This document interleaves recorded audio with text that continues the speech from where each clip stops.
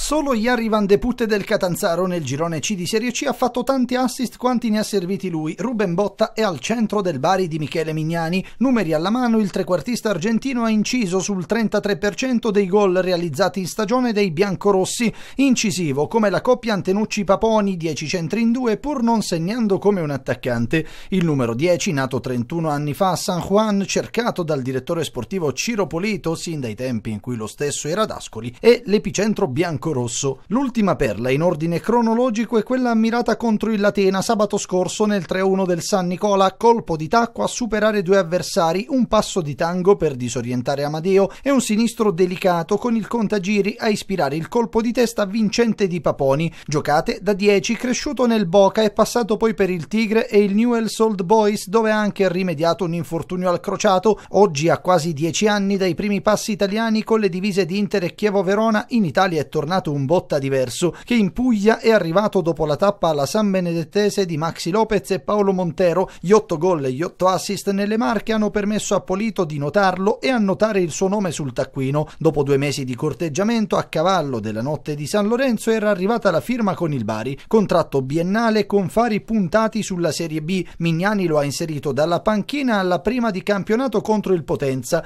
Poi, nelle successive 15 partite, non ha fatto mai a meno di lui tra i titolari titolari. Merito della qualità, ma anche della quantità. Dati alla mano, Botta corre per più di 7 km e mezzo a gara. Solo Maite e Terranova tra i giocatori di movimento hanno collezionato più minuti di Botta, il tanghero con il vizio dell'assist che sta conquistando Bari.